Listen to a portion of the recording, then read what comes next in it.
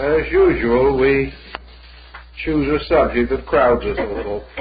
And uh, to attempt anything that is a complete survey of the field in the time that we have is a bit of audacity, but we will do the best we can. And this evening we want to establish the foundations upon which we hope to build in the series that will develop from tonight. In the first place, our subject is anthropology.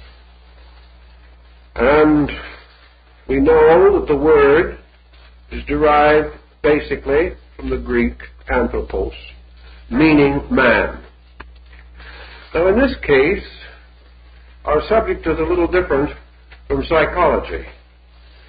The name psychology is also derived from the Greek, but in an adaptation that certainly was not in the Greek thinking.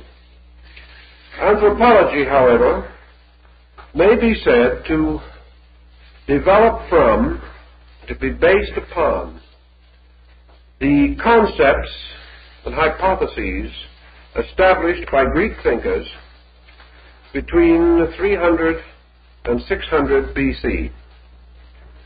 In all essential principles, we are moving upon the Greek understanding of the nature of man. We have expanded that knowledge tremendously. We have at our disposal instruments of verification unknown to the Greeks. Uh, their research, their contemplation, was essentially a combination of rational and intuitive elements. Uh, they recognized, as we must sometimes also recognize, that reason in itself is an acceptable instrument of science. That nearly all discoveries, that nearly all advancements have resulted from a foundation set in reason, and these in turn expanded, justified by scientific techniques. Thus, we do not need to be afraid of reason. What we need to fear is that we shall wander from the reasonable, and in that way endanger our position. In this particular series, we have added to the term anthropology a defining term, esoteric. I would also like to clear this, as we intend to use the term. The Greeks themselves had the concept that certain parts of knowledge are hidden. This hiddenness does not necessarily mean any deliberate effort to obscure. Nor are we to merely take the assumption that certain individuals are private to certain knowledge, which can only be attained uh, by cultivating those individuals in some way. The ancients certainly possessed arts and sciences which were locked within their temples and which they taught only to qualified students. Qualification, in their eyes, was not unlike a university entrance examination in our way of thinking. Esoteric, therefore, really conveys a certain neglected possibility in knowledge, something obscure, some part of knowledge that is darkened. This darkness may arise from common neglect, and through a long period of time, ideas which have apparently passed out of fashion without actually being disproven may pass into a subjective condition which we may talk, term esoteric as not immediately and readily available. Things that must be sought for, dug out, or in one way or another uh, found in the ruins or rubbish of our common believing. Whenever the word esoteric is applied to a term of scientific importance, it almost means the equivalent of idealistic. In other words, it takes into consideration certain aspects of knowledge, not generally popular, not generally known. And it also points out uh, the need for further exploration of certain archaic or hidden fields. The possibility, therefore, of a larger knowledge about things, a knowledge in which things obvious are extended toward those ends which are not obvious, or where knowledge readily available is traced back uh, to foundations hidden deep in the mysteries of time. Thus, we do not mean to imply supernatural. We do not mean to imply by the term esoteric cultural or pertaining to some private group of opinions. Rather, what we wish to do, if possible, is to restore a larger picture that is generally understood by the principal word, anthropology. To see if we can discover valuable clues in neglected areas. And most of all, to bring idealism into harmony, if possible, with modern scientific research. Esoteric religions are not those essentially apart from other religions, but are usually phases or divisions within a religion. Uh, divisions of persons more deeply concerned with value. And I think that again is part of the meaning of our term esoteric. From the uh, general definition of this subject, then, we must pass to a broader definition of anthropology itself. What is this field? Anthropology is a science and is concerned primarily with the origin, development, and social condition of mankind. That part of anthropology which deals with origin involves many other departments of learning, such as, for instance, uh, for instance, archaeology. That which deals with the development of man also calls upon many forms of knowledge. These forms of knowledge having to do with the various biological processes in nature, particularly as these apply to man. And finally, the cultural phase of anthropology includes practically everything that contributes to the progress of man. And especially, I think, in its broader sense, the cultural part is deeply indebted to religion. Even the most conservative anthropologist will admit that there has been no single force operate, operating more continuously upon the life of man than his religious convictions. Thus, all these subjects have to be brought, brought together, made into a workable, useful, practical combination in, for, in order that we may understand ourselves and in the understanding of the general orientation, perhaps come to some valid practical uses. When these are discovered, we drift away a little bit from anthropology and finally discover that it leads us inevitably into the full problem of sociology. All of these elements we have to consider together, although we cannot extend any of them uh, to an extreme point without endangering the area of coverage which we hope to attain. Another perhaps simple way of summing up the problem of man uh, is to say that anthropology traces the internal instincts of man from love of food to love of God. Everything that lies between comes more or less in the story of this unfolding human being. To go back, then, we must now pause for a moment in the field of archaeology and even make a brief uh, detour into geology.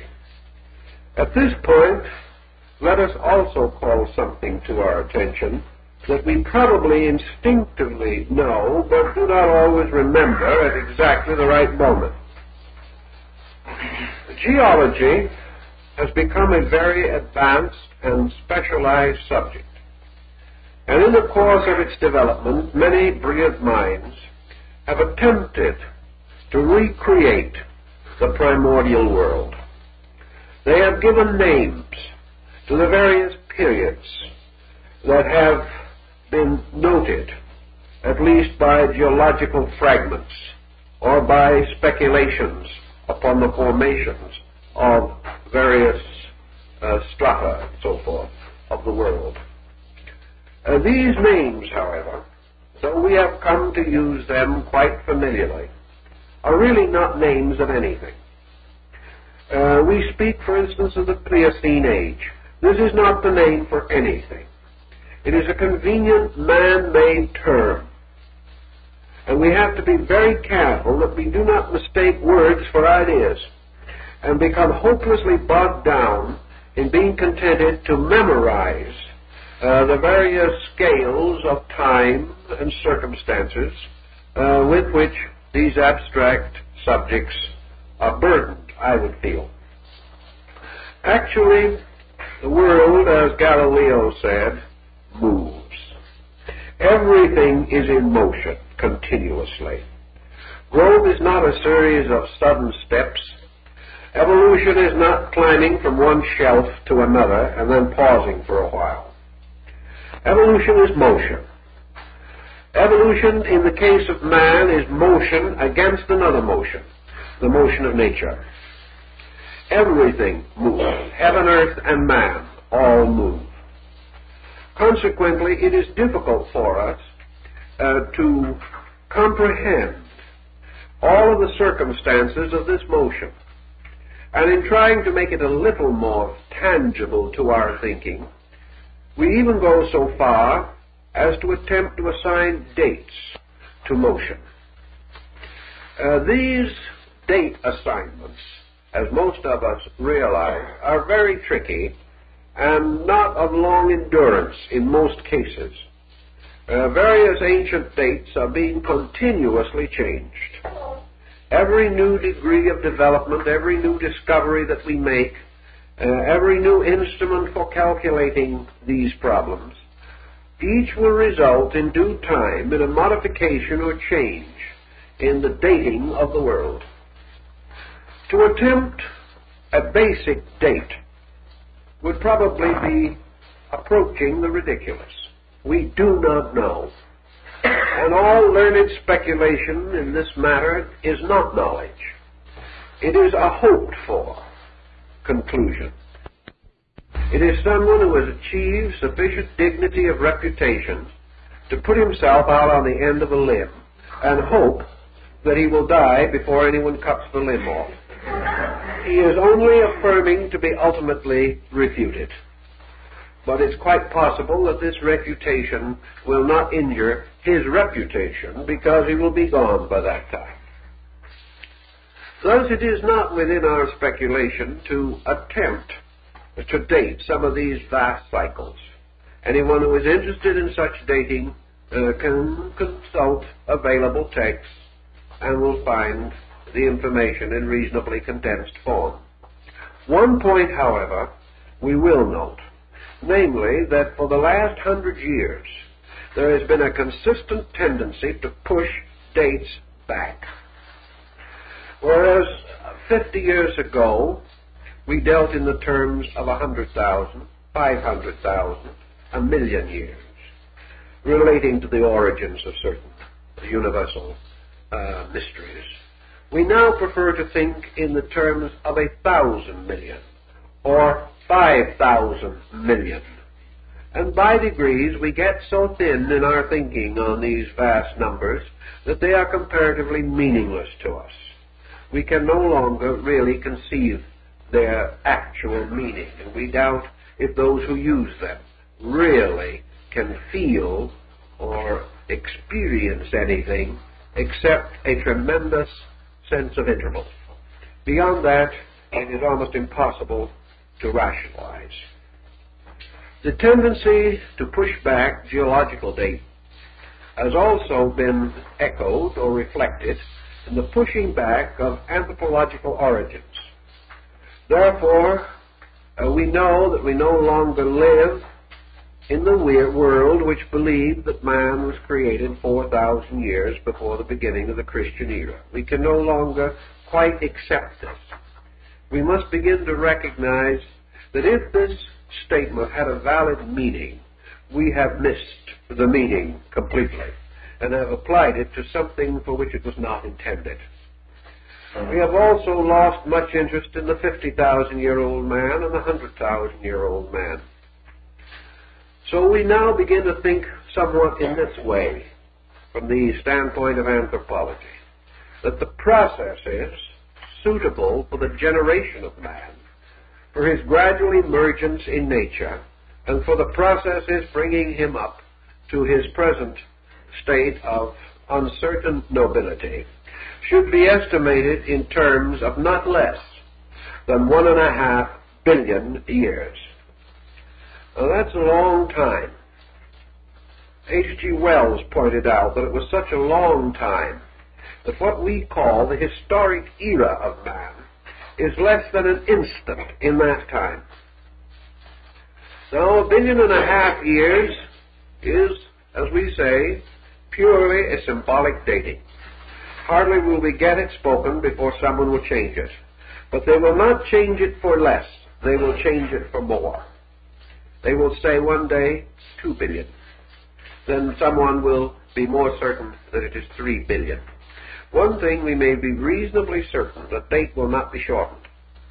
Because the more we experiment into these problems, the more we realize that we have been hasty in assuming too much within the compass of our normal historical thinking. The next point that we should bear in mind is that this process of producing man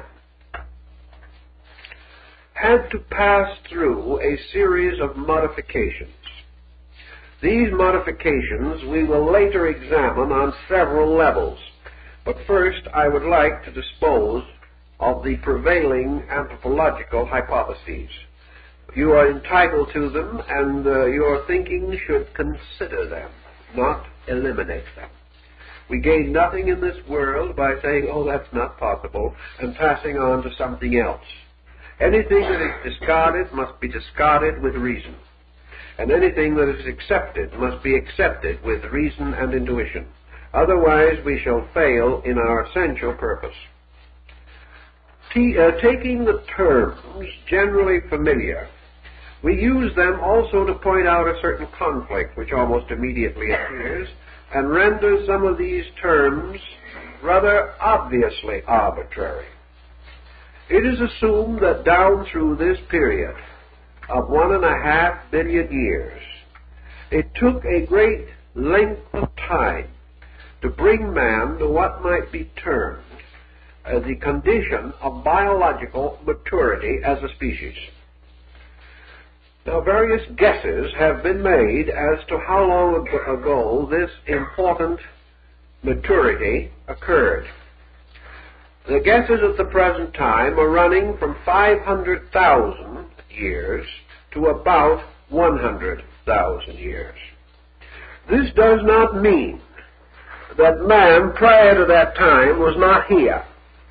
It merely means that man prior to that time had a certain psychobiological childhood that up to a certain period man had not attained to the faculty or power which modern anthropologists feel contributed the most to his progress, and that was the instinct to culture. The instinct to culture had to arise from something. It had to arise from the attainment of certain previous conditions. And the instinct to culture is regarded as a unique attribute of the genus Homo. This instinct to culture is not to be observed in other kingdoms of nature that we can see. And I might also point out that this has caused a bit of concern in some quarters, because it rather de- definitely assails certain phases of the Darwinian hypothesis. If man is simply the product of nature, a nature which also includes other creatures, indubitably older than himself, or which have attained to what might be termed their biological maturity. Not ours, but theirs. It rather amazes a certain group of anthropologists why the instinct of culture has appeared only in man if man is part of a common creation. In other words, if all creatures are molded from the same essential, uh, universal essences, substances, principles, how is it that this one element is unique in man? What lies behind this uniqueness? Why is he unique? By what cause or circumstance was this factor or faculty bestowed upon him and withheld from others? And as man has been growing and developing, surrounded by other life in various forms and degrees, for a billion and a half years or more, how is it that rudimentary traces of this cultural instinct are not appearing in other parallel kingdoms in some way. Why is man so unique? We may point out an exception in the ant or the bee. We may feel that certain cultural instincts do appear in these creatures, but study of them still leaves us in a state of general bewilderment for we would scarcely have expected uh, a systematic development of culture in this comparatively limited bracket of evolving life. So the cultural instinct arising in man seems to be derived from some independent source. Otherwise, what we like to think today as common experience would have produced it in other creatures. They were in the same environment. If environment causes all, why did it not rub off on them? If environment is the total cause for our uh, cultural individualization, how is it that other creatures in the same environment did not develop also, at least cultural systems suitable to their own kind. This we find not to be the case, nor can we fully explain even now why this differentiation of creatures, some of which unfold in one way and some in another, and still others seem to disappear entirely in the limbo of time. Thus, our anthropological background is essentially and obviously weak. There are so many more uh, questions than there are answers that our only available technique to use in the ordinary sense of the word is to follow the idea that we cannot know why, but must always interpret why as how. The why we simply do not know. How we are beginning to suspect we can uh, make a few statements about without being entirely ridiculous. The recent findings in connection with this subject also present us with another definite problem. Let us assume for a moment that our anthropologists are somewhere near correct in their assumption that man moved from a survival foundation to a cultural foundation not less than a hundred thousand years ago and probably considerably earlier.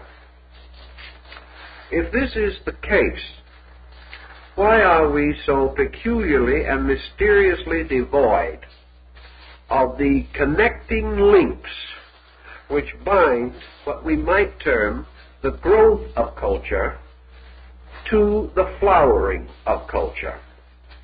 When we study a child, uh, we may have some record, either in memory or by the old family photograph album, and we can say this was Willie when he was five, and this was Willie when he was six, and this is the way Willie looked when he had his first uh, uh, summer camp, and this is the way Willie looked when he went to college. We have all of this information. But in the case of man, we do not have this information. We say this is the way Willie looked when he was born. This is the way Willie looked when he was grown up. We have nothing between. When I say we have nothing between, I mean by this nothing that the grown up Willie begins perhaps five to six thousand years before the beginning of the Christian era in terms of anthropology. Grown up Willie rises to our attention with Egypt, uh, with the ancient Indic foundations of culture in the Trans-Himavat, uh, with the rise of the earliest cultures of China. We perceive a tremendous flowering. We see the builders of the pyramid. We know from the study of their works that they were not merely infants with prodigious strength, that they possess knowledge, integrated knowledge, scientific knowledge. This in itself is a very, a very strange and somewhat wonderful circumstance because it represents the attainment of a certain cultural platform. We are perfectly willing, or perhaps a little grudgingly willing, to acknowledge there were some pretty smart people five or six thousand years ago. It is humiliating, but we will ultimately get around to it. That is not so bad. But what about the people 10,000 years ago? We have nothing to link them with the rise of Egypt. We have speculation, yes, but that is all. We do not know the steps that led up to the dawn of historic culture as we know it. We know they must have been there. We know that there has to have been a cause for the effect that followed. We know that man did not suddenly step through a curtain from nowhere, but we do have what is called the dark curtain of history. And this dark curtain covers the backstage of a situation that is most intriguing, but about which we are almost totally without knowledge. Thus, we must assume one of several things. First, that in some strange and mysterious way, what we might term culture was quickened at a certain time. And out of an abysmal lack of itself, or debility of itself, there came a sudden and incredible flowering. The next possibility is that there was an unbroken line of historical ascent and cultural ascent behind Egypt, and that for some reason we have not been able to rediscover the remains or evidences thereof. It is intriguing, however, that we should be also uh, so frustrated in many other areas. We might assume that the possibility of the tides and times uh, which have removed so many monuments, sweeping away some. But how do we explain the sweeping away of all? Why is it if we cannot find anything in Egypt, we are no better off in China? Why is it that we cannot move any of these civilizations and cultures back beyond a certain point? If we go behind that point far enough, we pick up culture again. We pick up culture 25,000 years ago, 50,000 years ago. We find evidences of ancient culture in crude drawings on the walls of caves in Spain and France. We find carved bits of bone and broken artifacts that tell us something of the people who lived very long ago. But in between, there is this strange, incredible, inscrutable darkness. And up to now, we have not been able to penetrate it. So we pass over it with a few generalities. Generalities which also are likely to be subject to constant change and modification as time goes on.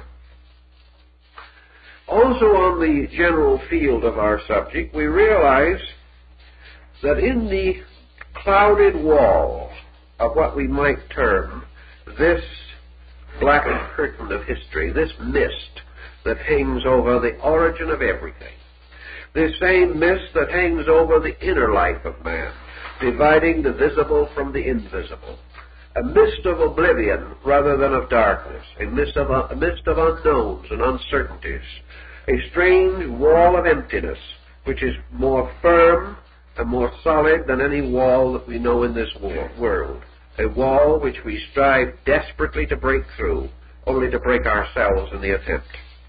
Sometime man will break through, but up to the present time he has not been able to do so. So we now have a parallel phenomenon accompanying this. And that is that right against this curtain, this dark curtain, as though against a motion picture screen, an, an incredible fantasy unfolds. For just at the point where history vanishes into the darkness of prehistory, stands a tremendous pageantry of shadows, which we call myths. Myths and legends. Someone has said that mythology is the history of the prehistoric world. But this rise of a world of legends, legends that are distributed throughout the world, legends dealing with the sources of things, and also in an intermediate way with other things, legends that certainly originated long ago but passed gradually into embodiment in the earliest institutions of history as we know history. Legends of ancient times that perhaps move into embodiment in the heroes and the, and the great uh, persons who must have flourished at a comparatively remote time. Yet never do we find these heroes, these remote persons, either primitive or barbaric, essentially, or different from the cultures uh, which later developed around them. Had these heroes been different, the cultures would have been different, because these heroes became the archetypes or the patterns for the development of culture groups. Thus we find, for instance, standing against the background of Greek mystery, standing between the known and the unknown, the rising of great hero cycles, of which a good example is the cyclic myth of Hercules. Now, Hercules was not a primitive being. He was not a neo-anthropoid. He was not a creature uh, corresponding with the concept of the Cro-Magnon. He was not that kind of person at all. Hercules was a son of the gods. He was a great person.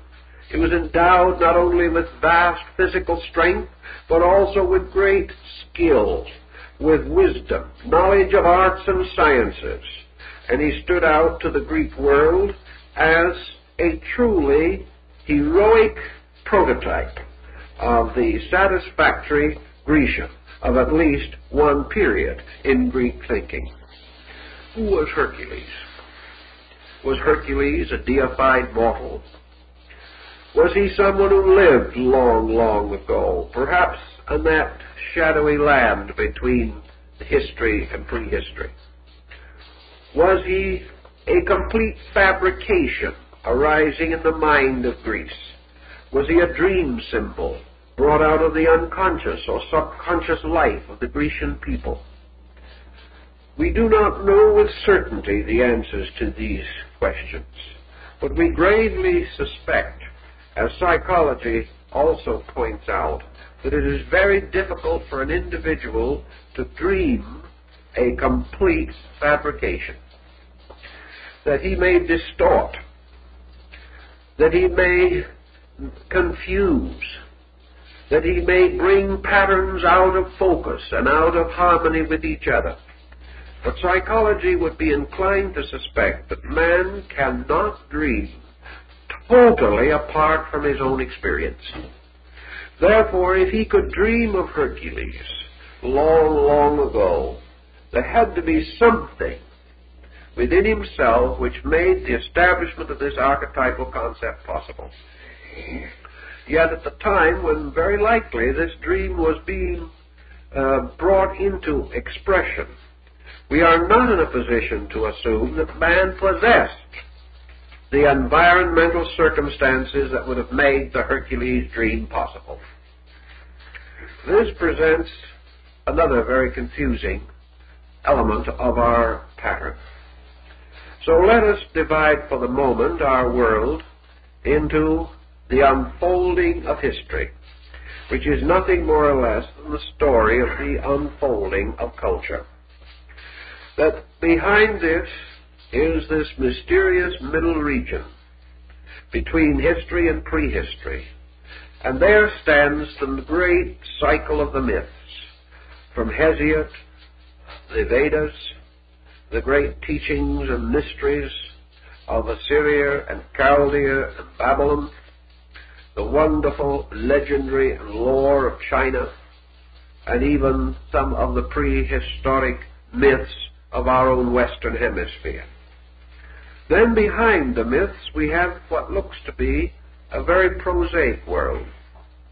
A world of very commonplace things, of flint axes, and of long, difficult struggles with saber-toothed tigers, and a man struggling for fire, struggling for the domestication of animals, and following one anthropological thinking, uh, working for perhaps several million years to find out that he could make a friend out of a dog. These kind of things were all there. We find him weaving and making rough pottery. We find him uh, gaining such extraordinary self-modesty as to begin to wrap animal skins around his body. Whether for protection, ornamentation, or morality, we do not know. We suspect that it began with protection, passed from there to ornamentation, and only became a problem of morality after he himself became corrupt.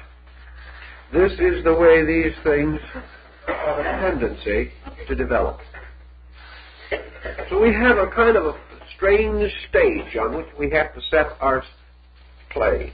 If we are not too questioning, we have no problems. The moment we begin to question, we have no answers. But such is life.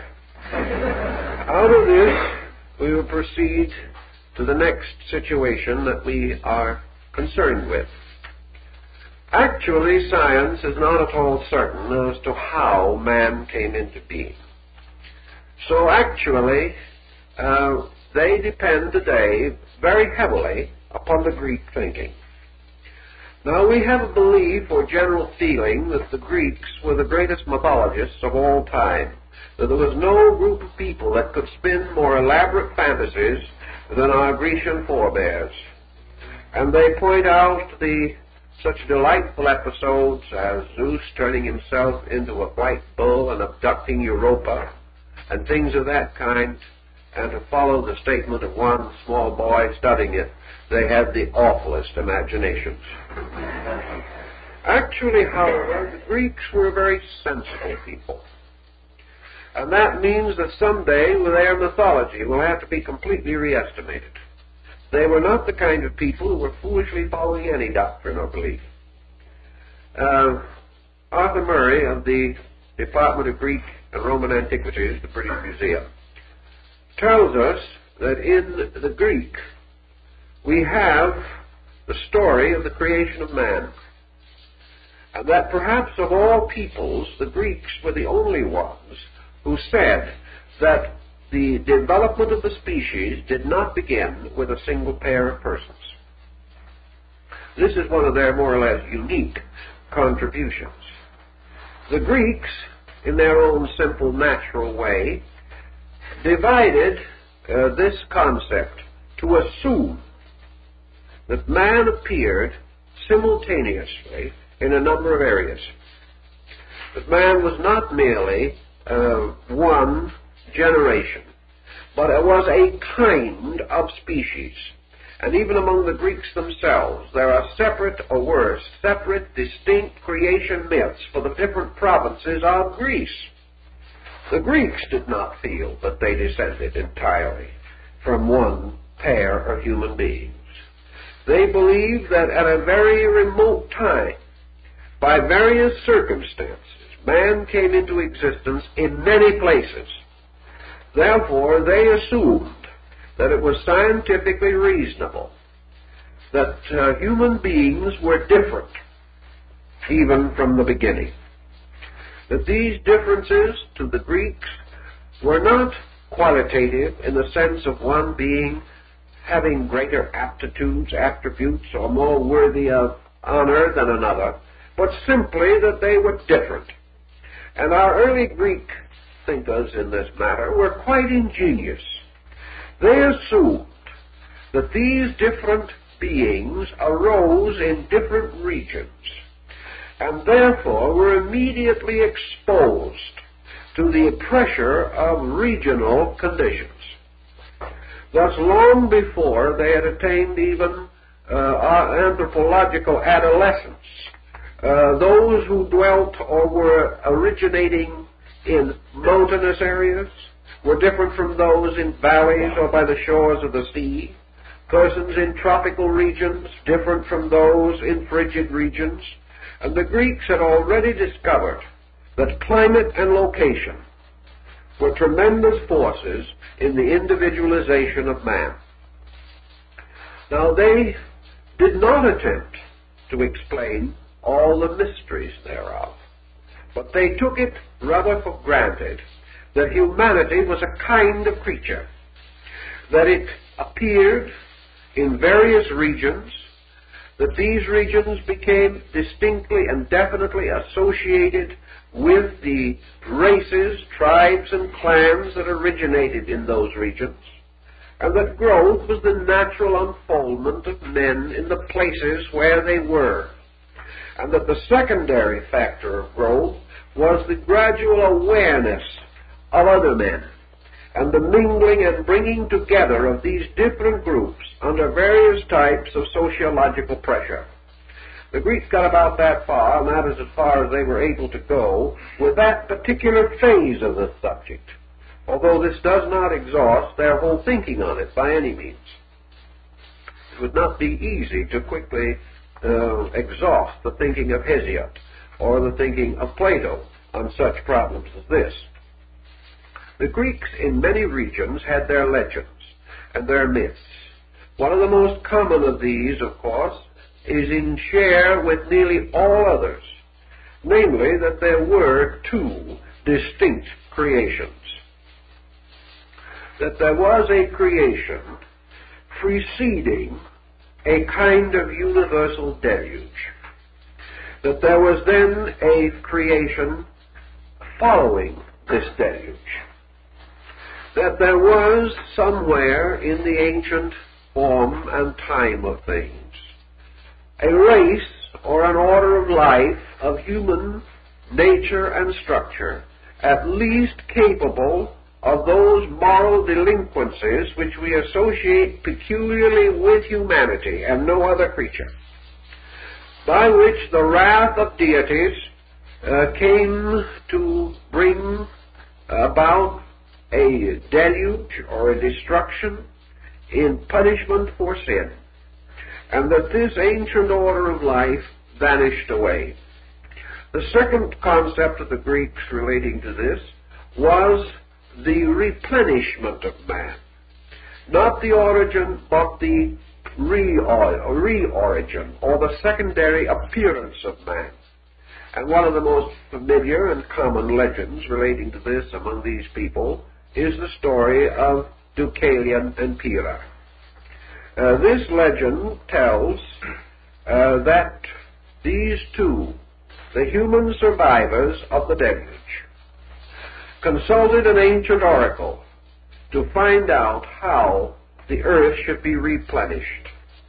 And the uh, oracle told them to cast behind themselves the bones of their mother.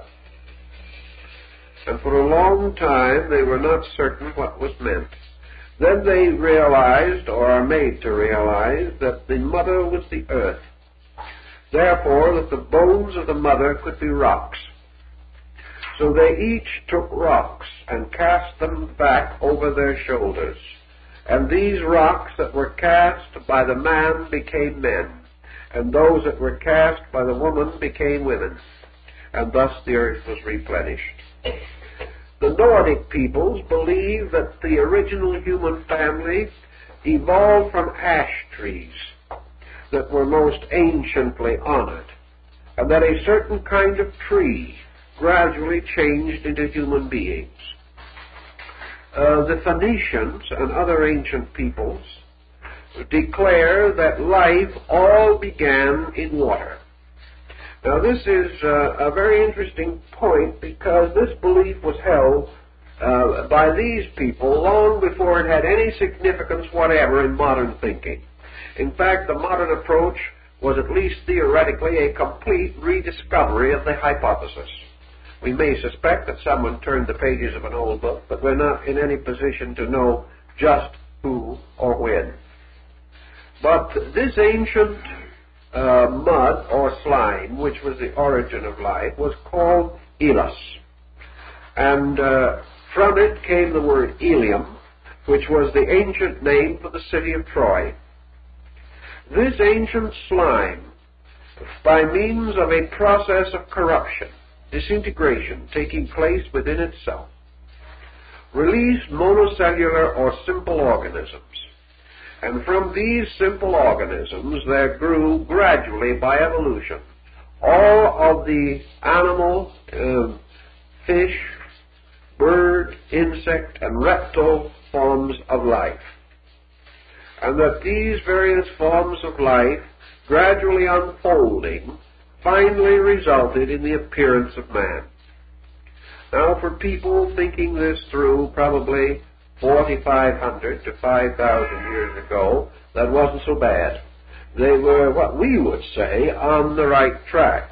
Or if things should change the course of time, uh, they and we are on the wrong track together. Uh, at least that is the way uh, we think about it at the present time. This brings us again uh, to uh, an effort to estimate uh, what you might term the problem of the origin of our kind. And uh, at this stage, going back to the very shadowy phase of things, we can only say one of two things. Either that we will stick with the modern anthropological findings, uh, which are in substance approximately what I have said, or else we must strive, strive through ancient institutions of learning and through tradition, through legend, and through ancient sacred sources to see if we can enrich this story and by so doing bestow upon it what we would like to term its esoteric overtones. On this basis, then, we go back to the oldest accounts that we have. Accounts that have any tangible cultural significance to us today. I can go out here into the valleys back in California, or even not any further than the caves near Santa Barbara, and find writings on the walls. Writings of strange and primitive symbols. I've had probably a hundred examples brought in here to have read. People want to know just exactly what those symbols mean. Uh, such symbolic reading cannot be achieved. The most that we can hope to do is to suggest certain psychological reasons why primitive people should make use of certain symbols. Those symbols were devised by them for meanings that lived and died with them. We cannot be again one of them. Consequently, we cannot actually experience what they meant by these symbols, which have no alphabet, which have no formal structure as we know it, are but a small group and probably are among the earliest pictoglyphic ancestors of hieroglyphs. We cannot restore them.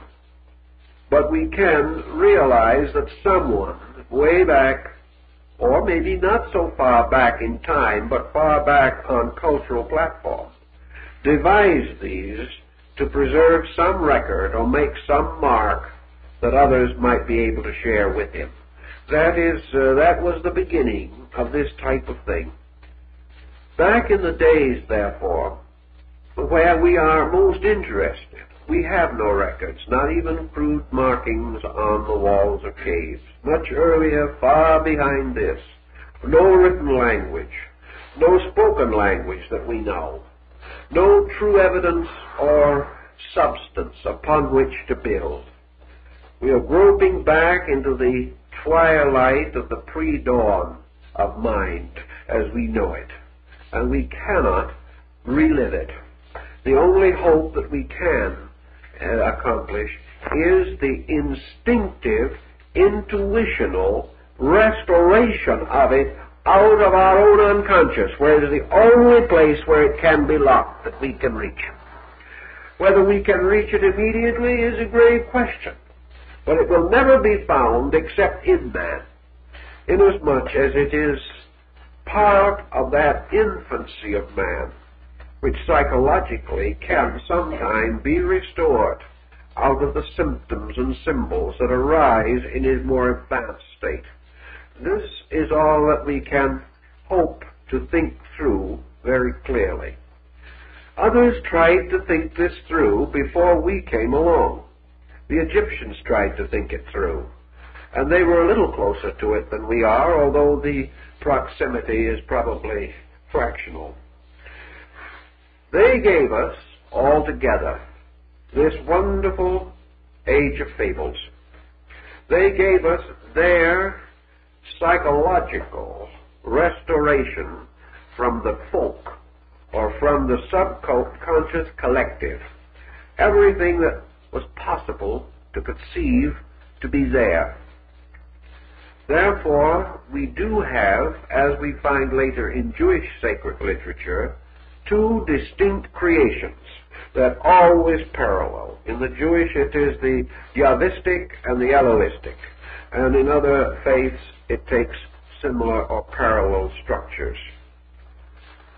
And all these cultural origins together, there emerges at the dawn or the beginning of things the gods. Nothing begins actually below. That is something that is in our subconscious. It is not something we've learned primarily. Even if we had learned it, it would be much like other learning that is long, long gone and forgotten, unless there had been something about it that made us want to remember. And so today, 6,000 years after the rise of Greek myths, we still study them in school.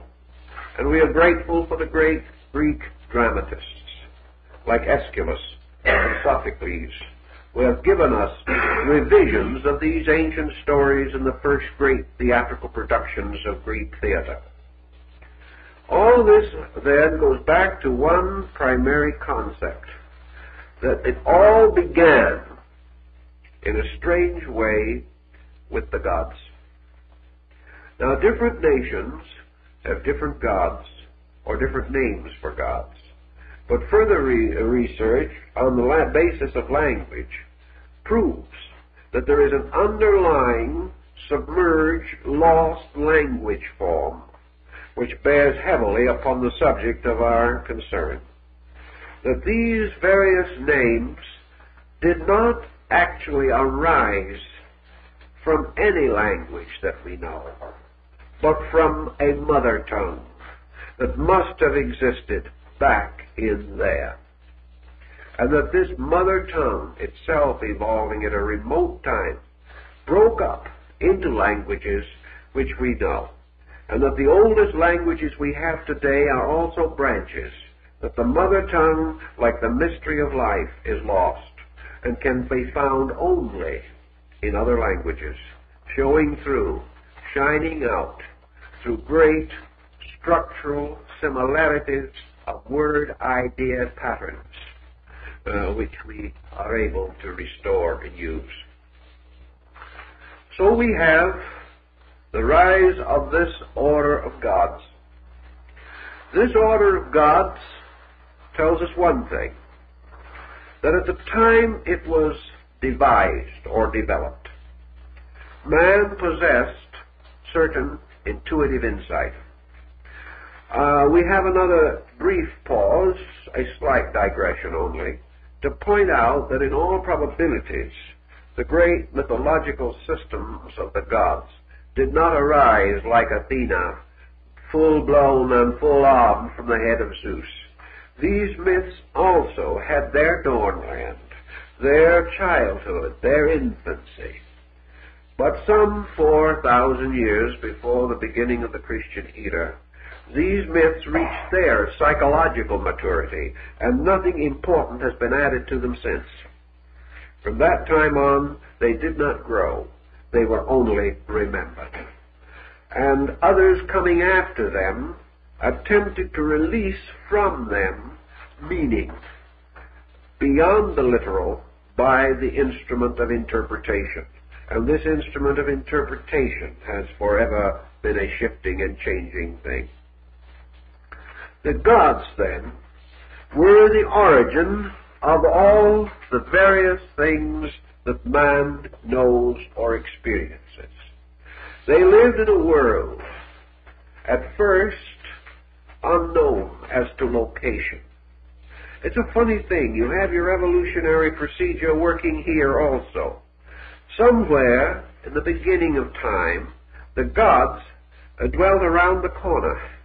The gods dwelt in the nearest mound. The gods dwelt in the grave of the ancestor.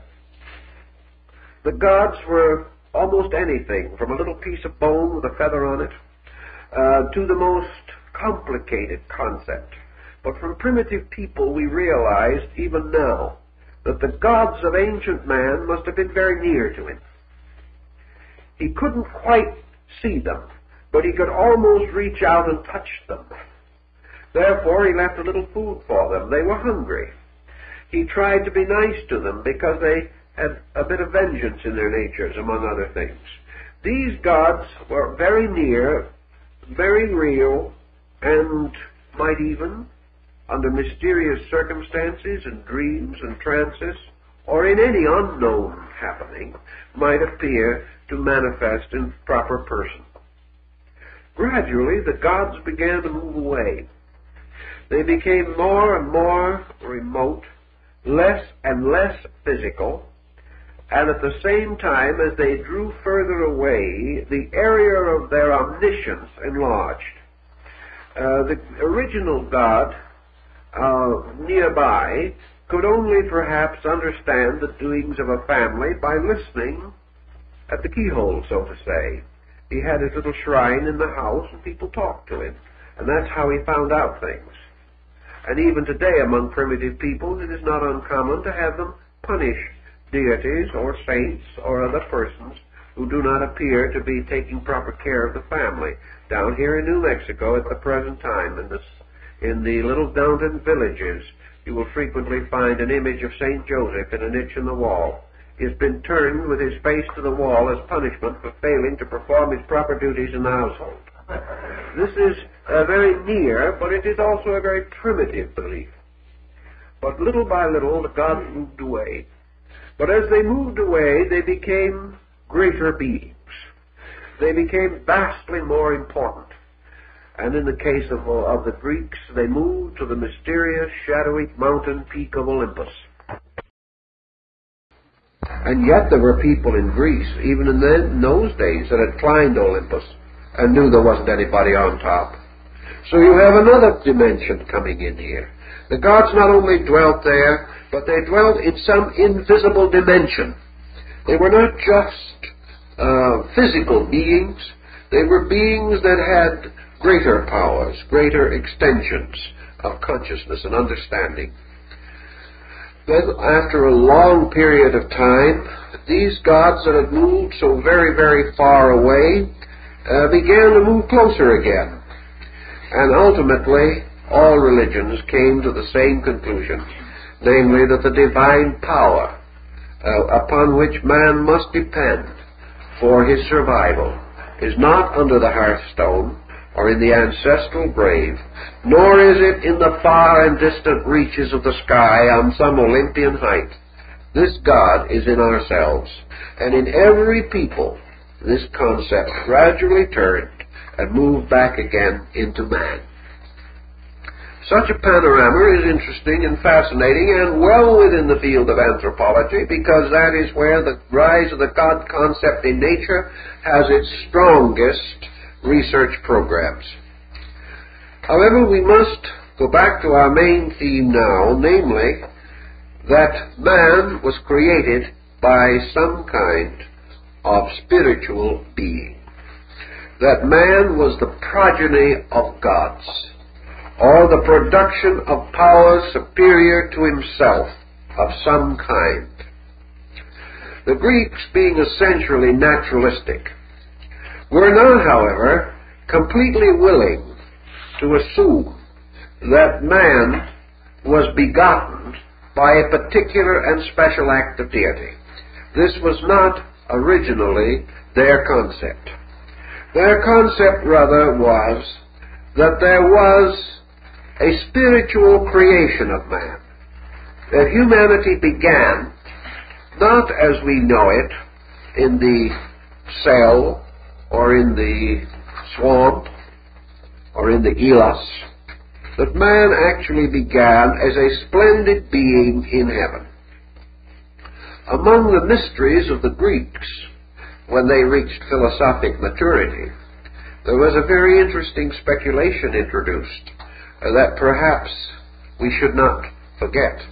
Namely, the reason why the gods are no longer on the top of Mount Olympus is because man is the gods. Now, this is an interesting thought, but you'll have to ponder it a little bit. Namely, that the great order of life moving into manifestation was not only created by the gods, but was the motion of the divine power itself into manifestation. Therefore, that the gods moved into their own creation, became immersed in it, and absorbed in it, and that somewhere in the background of things, the great, splendid world of the gods sank into the darkness and mystery of matter, and in this way resulted finally in the emergence of life as seed everywhere because of the divine presence in matter, that this divine presence made all parts of matter full of life and capable of infinite growth from its own total substance.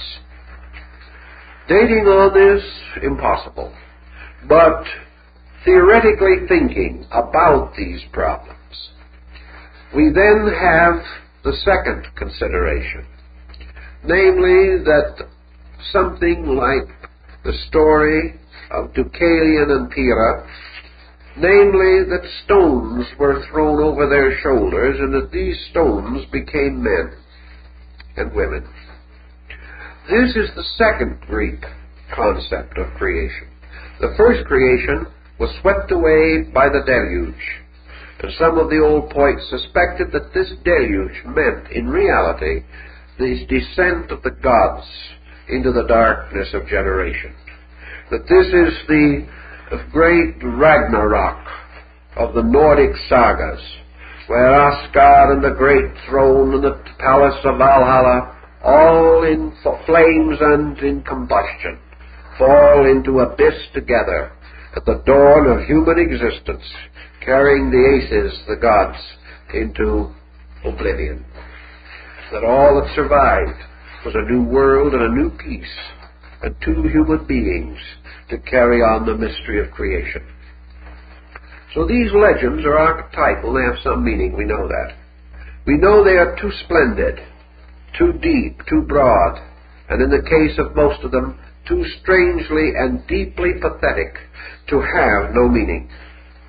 They meant something, And uh, part of the neglected field of our era, of our, era, of our area, is to try to find out what they meant. If we have two creations, we can also go back to the Dionysiac legend, where the Titans, or the primordial elements of nature, uh, managed to inveigle Dionysus, the young god, to follow them out into the sea of, and field of space.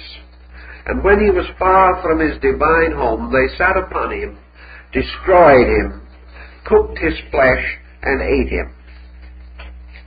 But in the process of eating him, his head was saved by Minerva or Athena and taken back to Zeus.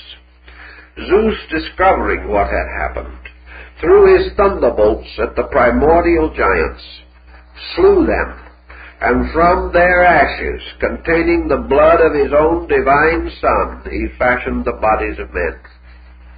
Now this also is a very stimulating series of thoughts, for it also tells us that in some mysterious way ancient man believed the human being to be a compound of the ashes of the Titans and the life blood of a god.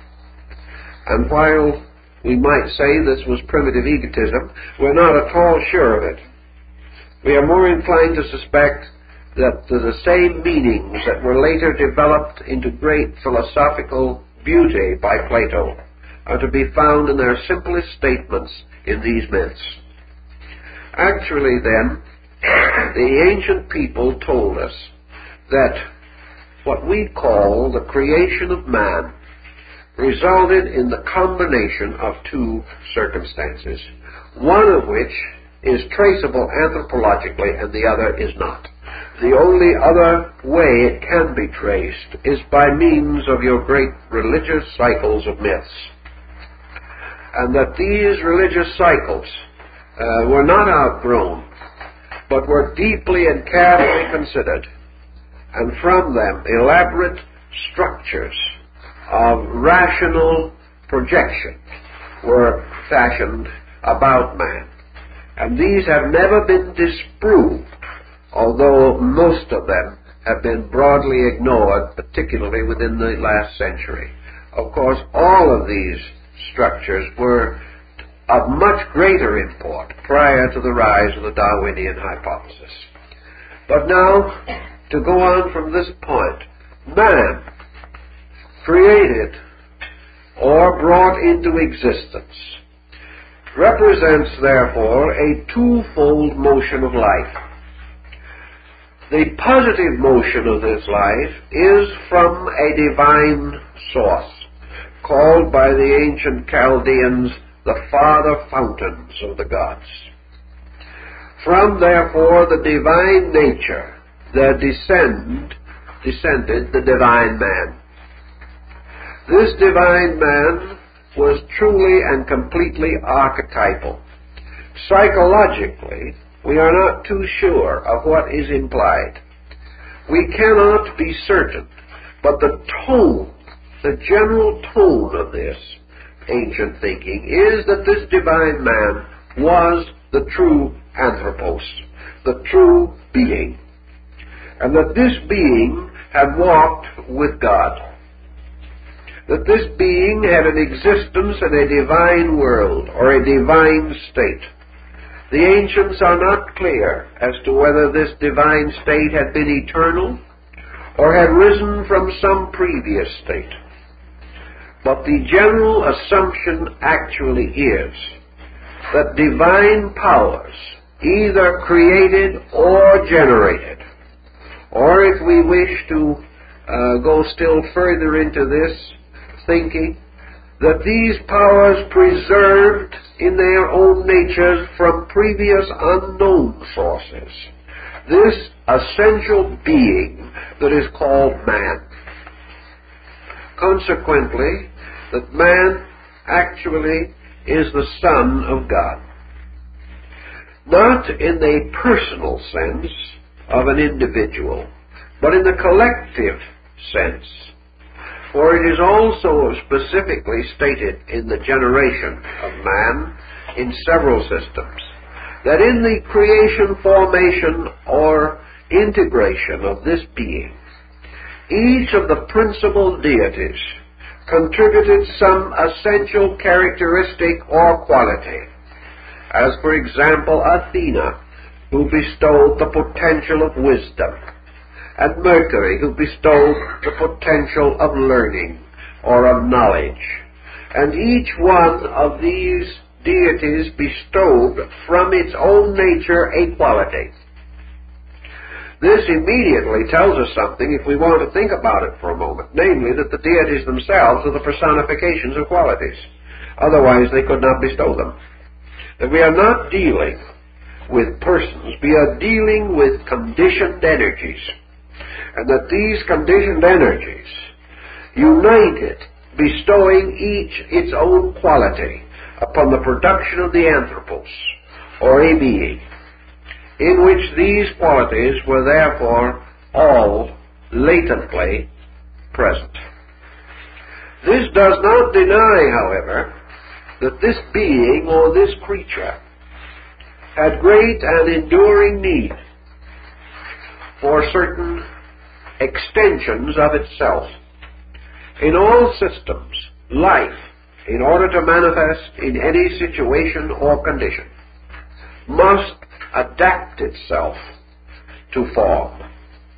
Every life must be informed and end formed in order to exist in any environment or condition. A being must have an instrument, a body or a nature, composed of the substances of that environment or condition. Otherwise, it may be present, but it will be unseen and unknown if we wish to presume that it is present. This is true not only of the human being, but of the beings that very likely and most certainly do inhabit other planets, other solar systems, other cosmic systems.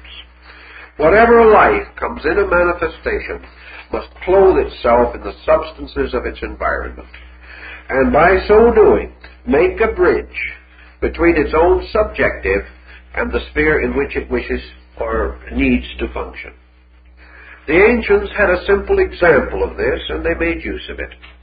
We know that the Indian people undoubtedly developed a large part of their great cosmological theory from embryology. From the actual study of the birth of the human being now, they believed they had a key to the great cyclic processes by which universal generation is achieved. This has also been obvious, noted in many other systems of mythological thinking, as in Frazer's Golden Bough, where you will find many references to these parallel groups of legends.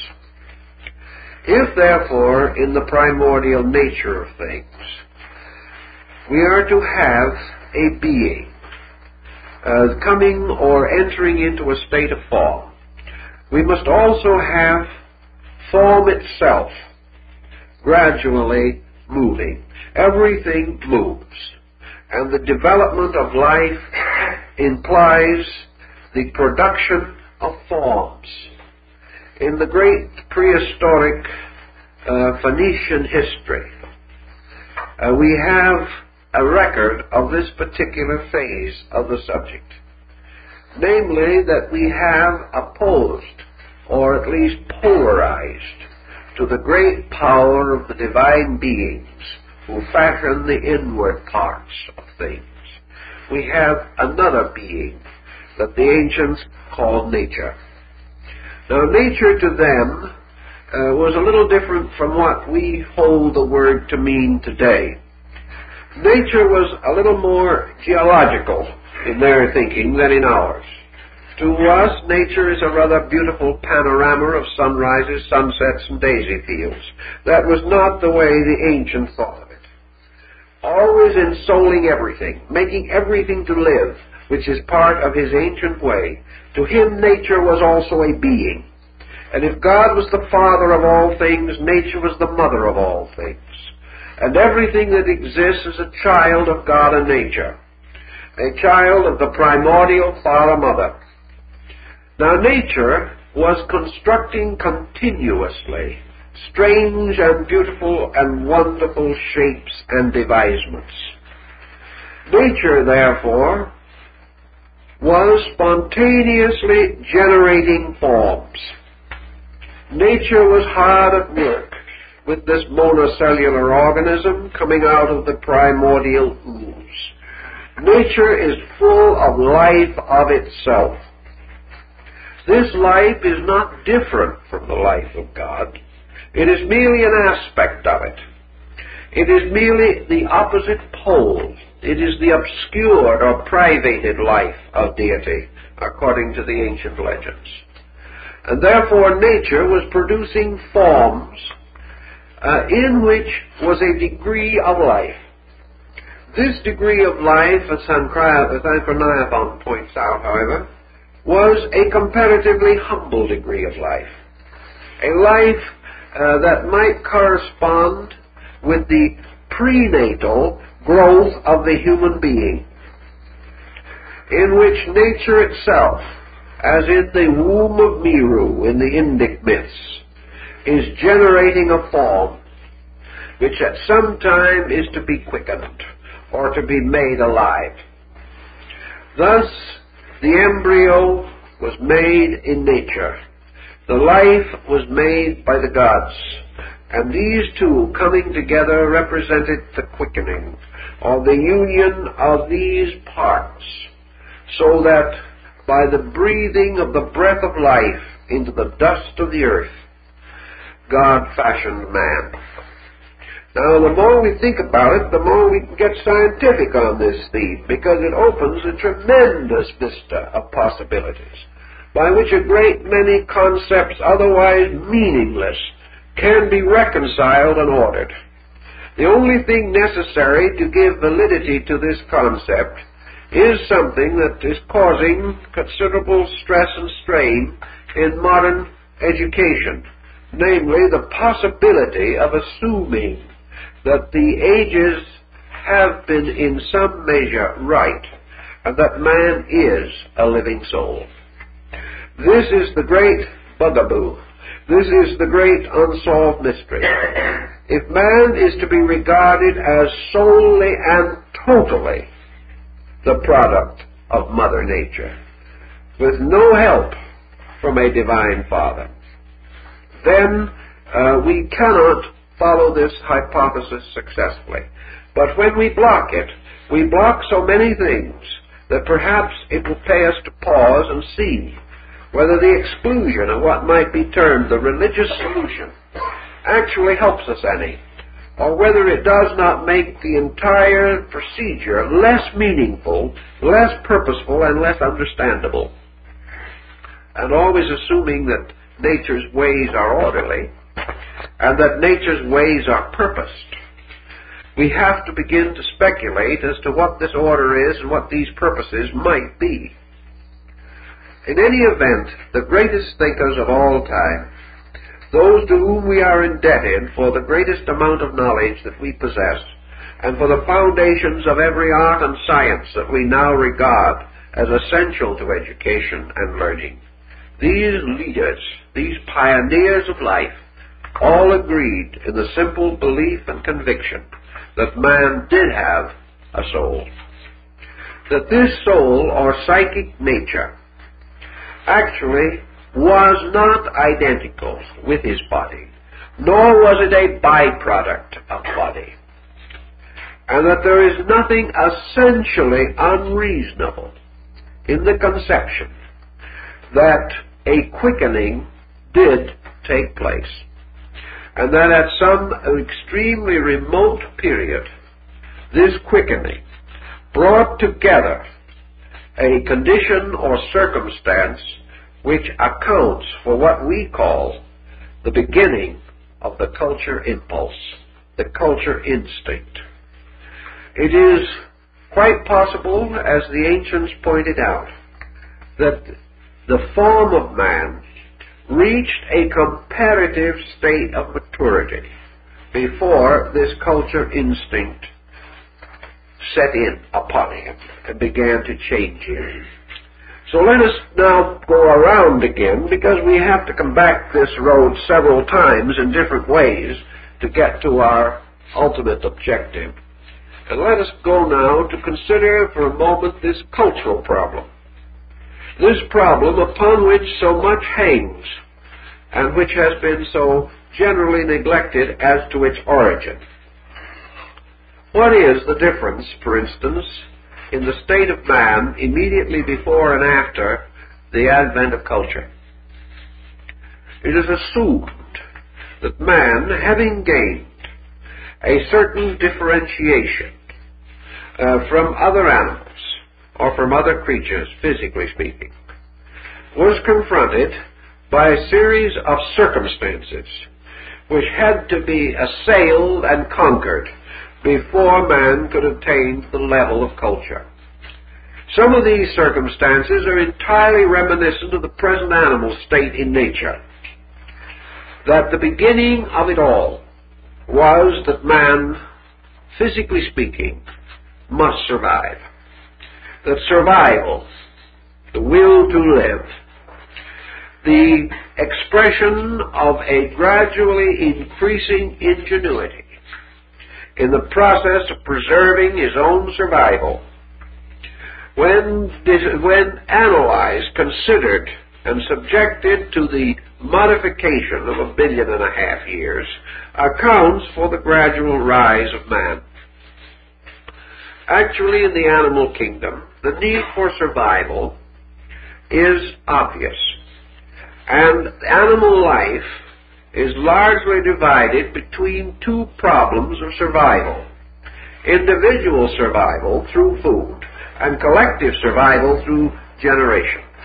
These two become the principal purposes.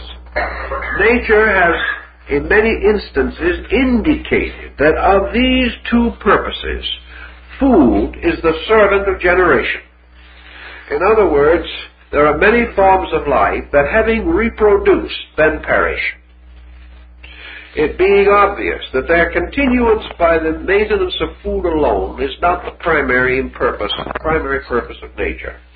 That in these ancient patterns the purpose of nature was to ensure perpetuation, and that from that time on the fate of the individual creature was far less meaningful. In the beginning, then, we have the animal man, or the animal type of man, distinguished by what has been called his parasite existence. It's coming back a little, but we hope we'll get over it. Namely, that man lived from nature without essentially contributing anything to nature. That man uh, also lived merely by the continuous search for food. Therefore, by the continuous use of the available supplies of nature. This situation, going along, became an almost constant demand upon the primordial life of man.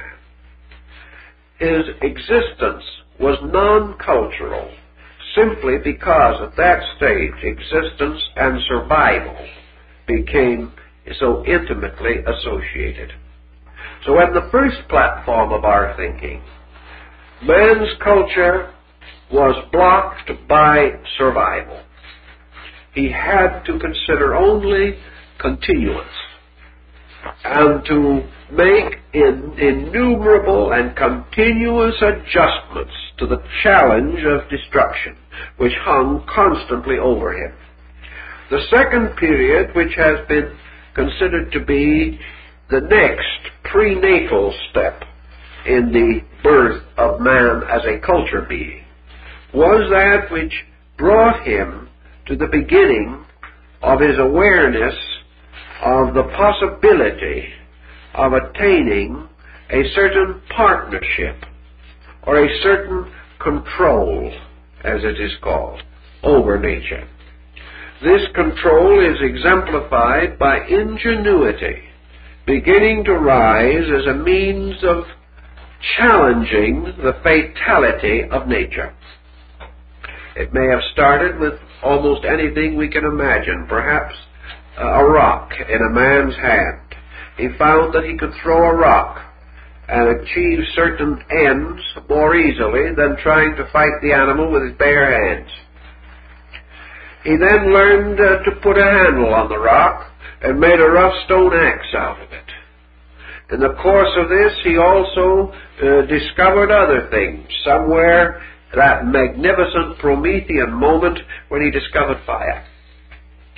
When he also discovered, as Diogenes tells us later, that a cup can be more convenient than your hand when you want a drink of water.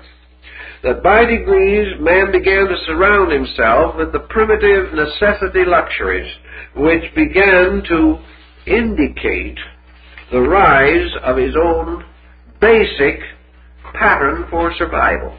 But he's still struggling to survive now a little more successfully. Undoubtedly, he was nomadic to a degree. Those who could not be nomadic had to adjust themselves to the seasonal world in which they lived, and some of these adjustments were pretty strenuous. In fact, many did not survive at all. Then comes the next important step. Man beginning to cultivate nature, to gain control. And one of the simplest and easiest ways he accomplished this was by learning agriculture and the oldest gods of the Greeks were venerated and honored because they brought the agricultural mystery to man.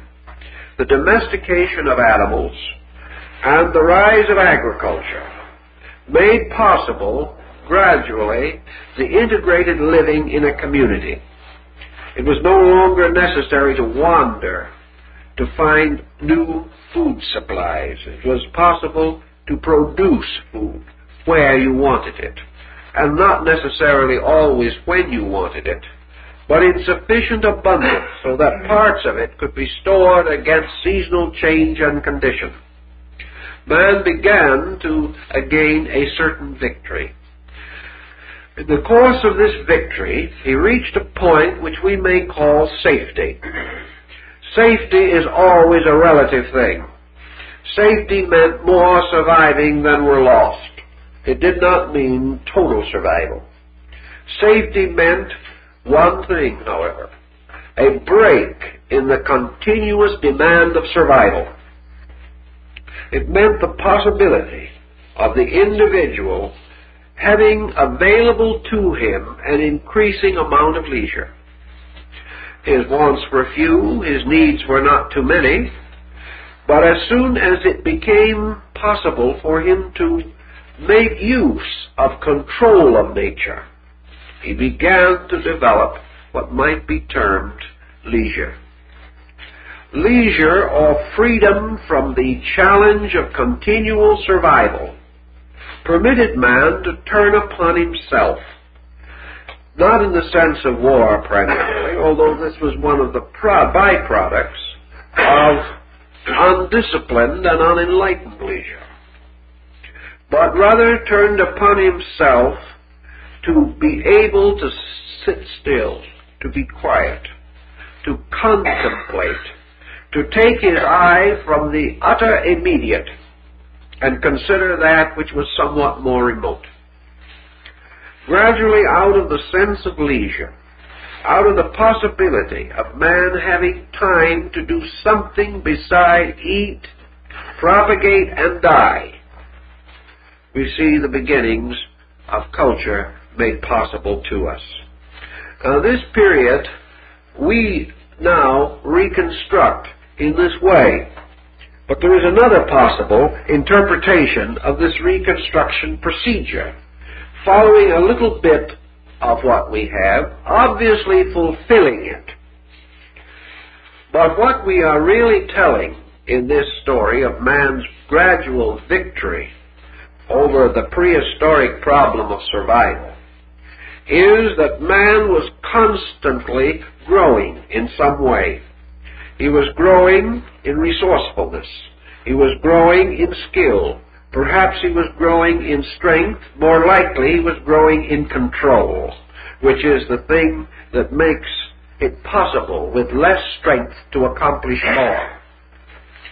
Thus we finally have the story of a being growing up to a state of self-identity.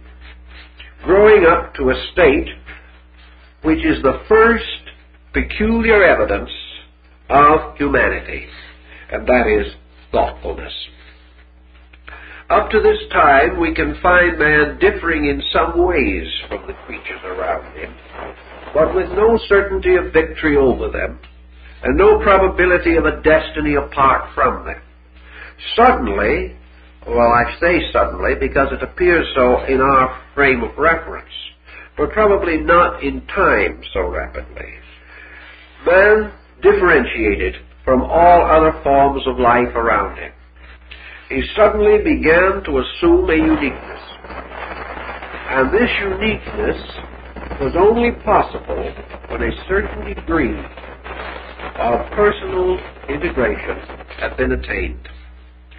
The Greeks and other ancient peoples, uh, working upon their mythological platforms, came to the conclusion that this growing up of bodies through the animal state finally resulted in the creation of a being in whose organism and integration the release of what might be termed an extra faculty was possible.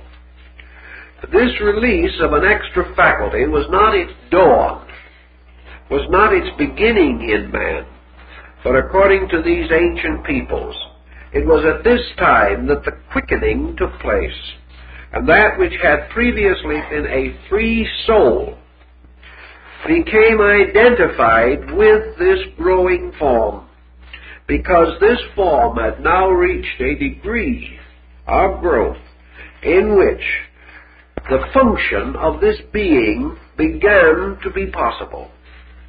Certain centers of nervous structure, certain refinements in brain and in the various fields of the human sensitivity made it possible for something to take hold of this form, to possess it, to move in upon it, to ensoul it, and to begin to operate upon it from within moving gradually and inevitably towards final conquest of this form.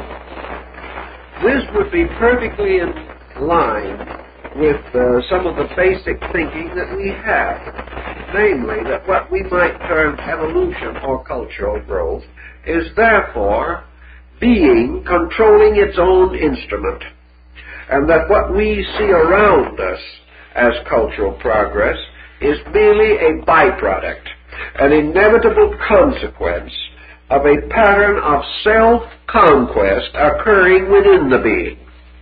That civilization, therefore, is nothing more or less than a degree of progress attained in the essential psychic compound of man.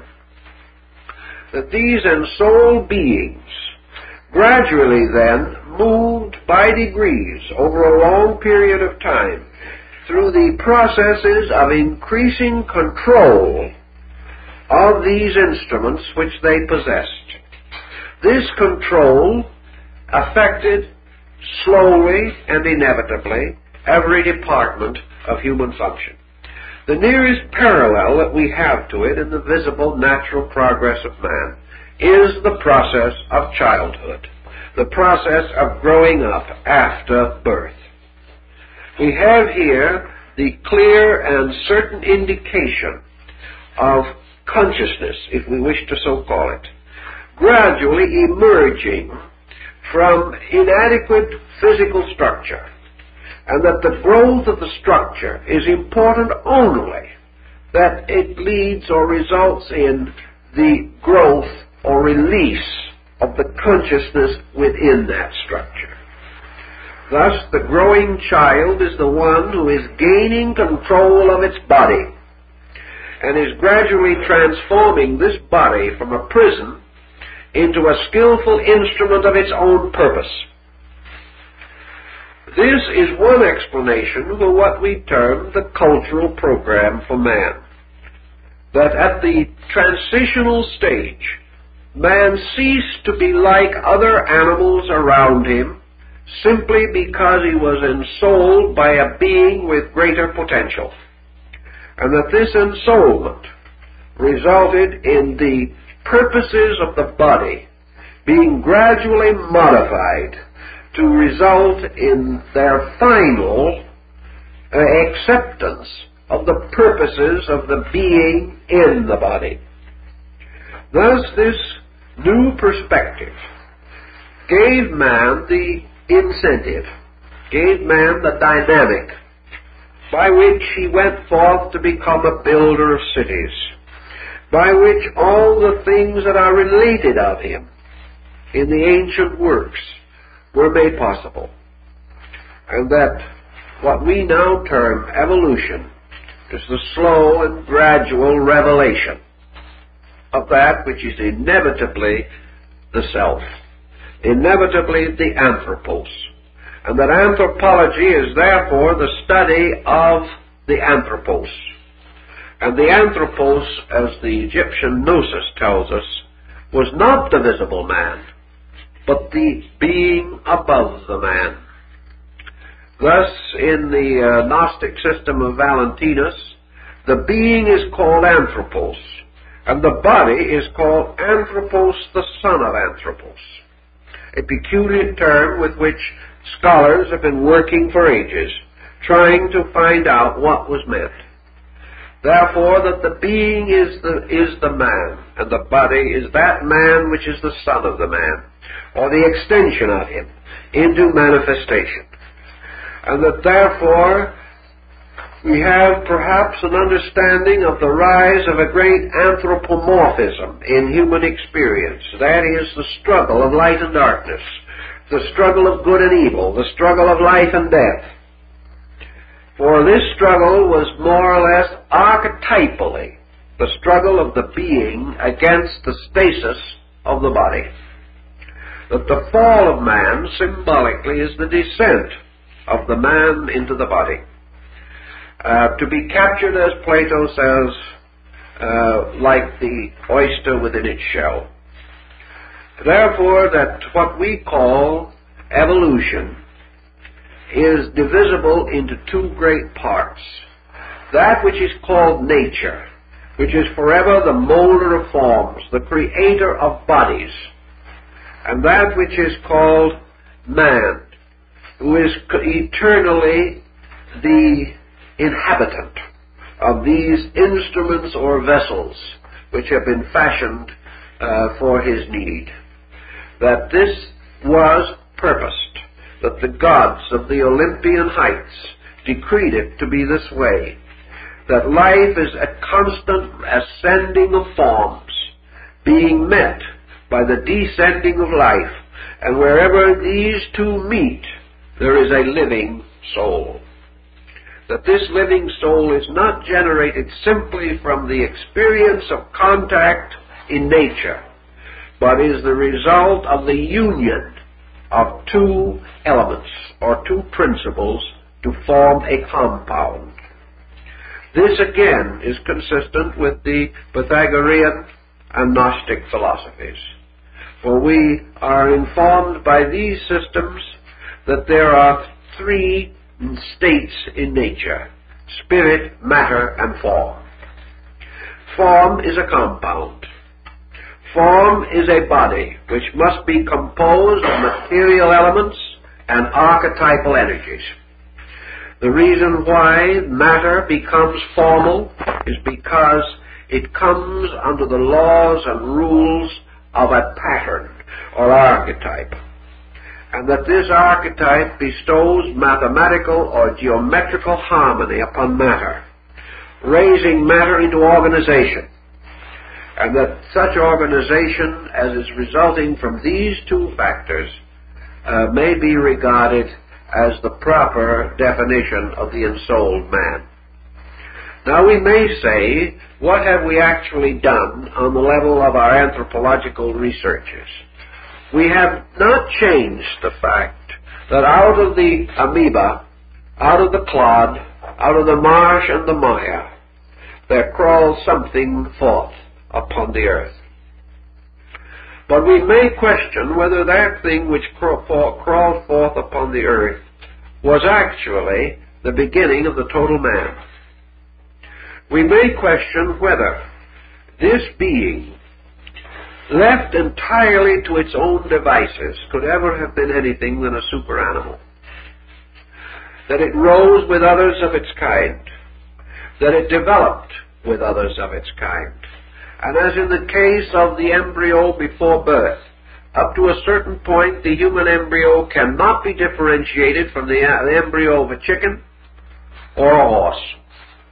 But as a certain point is reached, then the one indicates gradually and inevitably that it is going to be a chicken. The other remains, continues to unfold, and finally becomes a human being. But at a certain state, they're indistinguishable. There is no way of telling one from the other, except that one grows more before it is born. And the one that grows more is man. Thus, in the face of nature, there is no way in which we could distinguish, or no certain method by which we could indicate a point in the remoteness of things where man and the animal could be clearly differentiated. This would follow again the most ancient thinking we have, namely that in that time there was no obvious difference, but that this difference appeared in due time, appeared when life reached the point of sustaining this difference, and that at that time this difference became manifested and man suddenly became a creature with a purpose. A creature with a reason for existence other than biological. And that biology did not cease because the continuance of forms for embodiment continued to be necessary. That the search for food did not cease because this body, which was to be the house of a soul, had to be maintained and sustained, or the soul was homeless. However, life divided now into two purposes. One, to be regarded as the maintenance of the house, and the other, the increasing freedom of the householder, the being that lived in the house. This immediately divided the life of man into two purposes. Psychologically, these purposes are everywhere obvious. Man is not a united creature in his purposes. He is purposed by two contrary forces. And the conflict between these contrary forces is one of the principal reasons for nearly all the problems that arise in human life.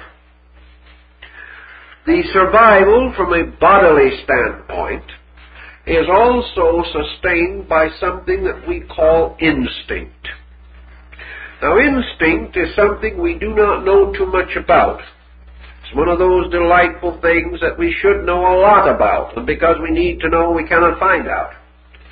But instinct seems to tell us, or our own study of instinct, that in this part of our nature we have the survival of what has been called the pre-Adamite man. That is, the pre-ensouled man. That instinct was the power that governed before the quickening. That instinct, therefore, was a life out of nature, a kind of nature spirit that rose out of the earth and was that part of man's structure that did respond unhesitatingly and continuously to the demands of survival. That what we commonly believe to be instinct today is therefore the survival of a primordial pressure. And that instinct, after it has gone to school and gotten a diploma, instinct becomes sophisticated or cultivated to the degree that it may seem to be a legitimate force that has inherited the real right of ruling the body. Instinct now not fully recognized in itself can therefore be the cause of the most excessive positive and negative reactions of our emotional life, our vital life, and certain rudimentary elements of our mental lives. Thus, body left to itself follows instinct. Body and soul follows the soul. The instinct nature of man has slowly become considered under a broad general title, the lower man. Now the lower man is a most agreeable fellow. The lower man is constantly impressing upon us the sovereign importance of doing what we please. The divine man is constantly impressing upon us the sovereign importance of doing that which is right, or that which is necessary, or that which is next. Each of these forces is seeking the gratification of itself, seeking also the fulfillment of its own purposes. Instinct has no over purpose. Because the primary, primary creature seeking to eat ate and was hungry again. Because it ate only the food of nature. But the soul man sought another food, that those who ate thereof should not again hunger. And this difference has carried on. It almost would seem, although this may be an exaggeration, and I wouldn't want to be quoted for this, but to the press at least, it would almost seem that what we term materialism is instinct with a college education. that materialism is essentially the aggrandizement of the man of instinct on the assumption that this man by piling mountain upon mountain, piling Ossa upon Pelion, and piling them both upon Olympus, that he is going to reach heaven. That the instinct man is going to be able uh, to, in some wonderful manner, usurp the prerogatives of the soul man, and thereby gain an immortality or a survival apart from soul. This was a great subject of drama, out of myth, and of legend.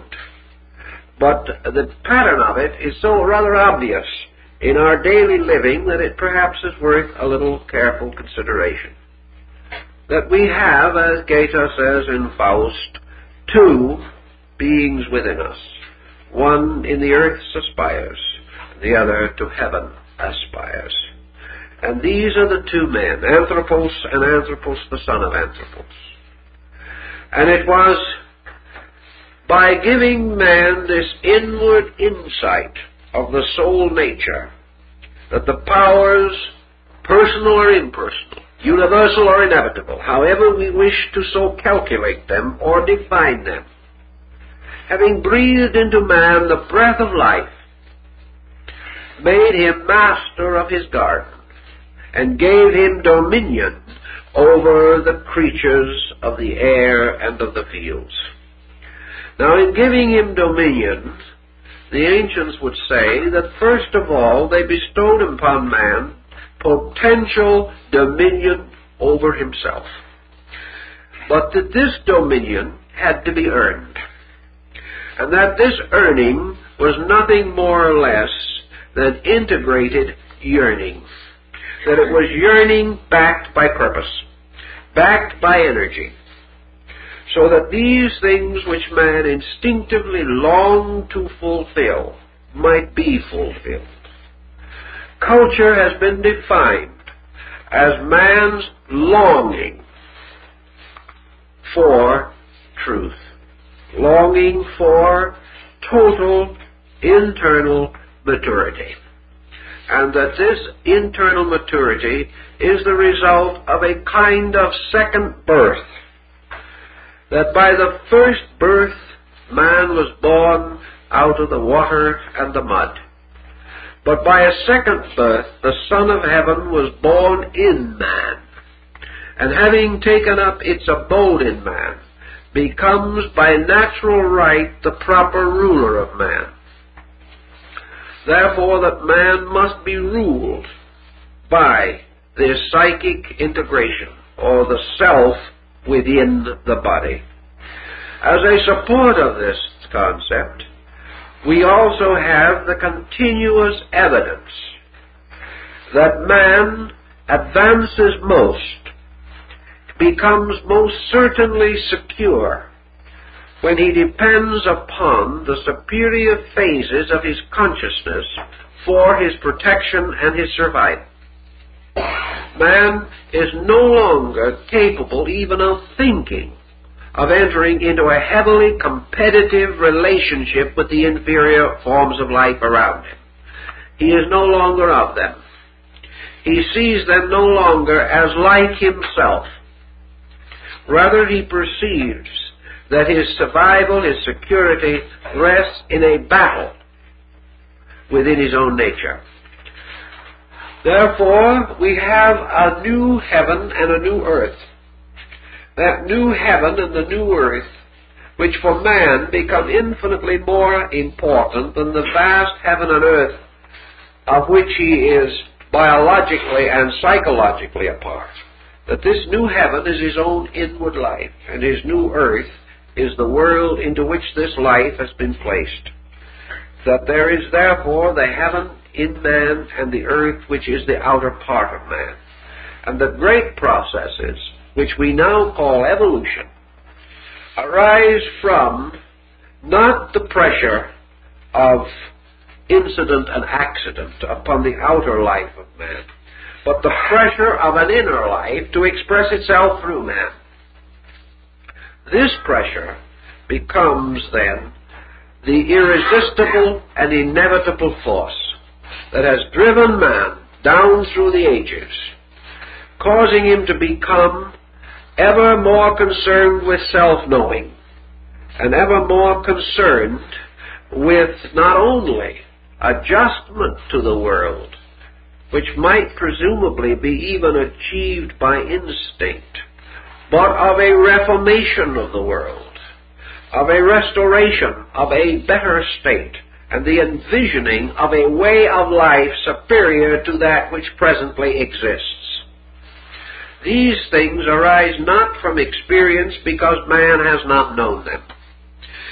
The world we look for is not a world that comes to us from our physical environment, but rather is archetypal of a universal state which preceded our involvement in a material existence. Thus, we can assume a parallel, the possibility that anthropology as we know it is not essentially in error, but rather that it is half of a story, and that the other half of the story takes part or takes place behind the line or the veil which divides the external life of man from his internal and eternal roots. Now our time is up, so that's the foundation for the first evening.